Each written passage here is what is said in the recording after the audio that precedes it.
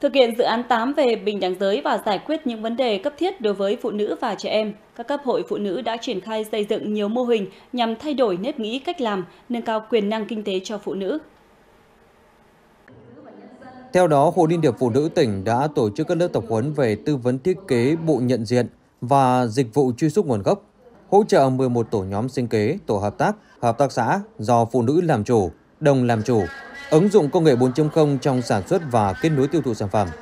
Hội Liên hiệp Phụ nữ các cấp đã tập huấn về bình đẳng giới, thành lập 28 mô hình địa chỉ tin cậy, trong đó có hai mô hình chỉ đạo điểm của tỉnh.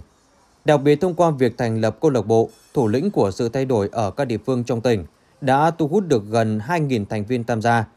góp phần đảm bảo tiếng nói và vai trò của trẻ em gái trong phát triển kinh tế xã hội ở các địa phương trong tỉnh.